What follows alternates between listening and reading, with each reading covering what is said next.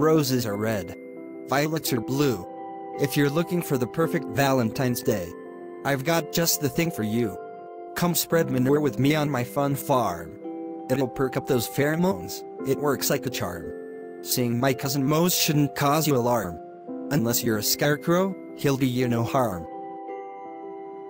If you want to seesaw, I've got a lot of wood. Who says fun has to stop?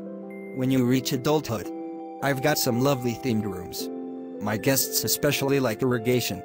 I suppose it has something to do with the impeccable lubrication. If your day doesn't include beets, then your happiness will surely fail.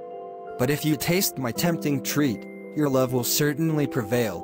You can go on a goose walk at the crack of dawn. Nothing would ever feel so far from wrong. Don't settle for some scrappy suburban lawn. Come to Schrute Farms to make your heart strong. You can watch Mose do a table making demonstration. It truly is something to see.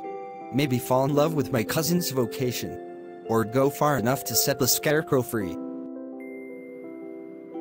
So come on down to Schrute Farms. It's the best place you could ever be. Mose can hold you in his arms. Unless you'd prefer roll in the hay with me.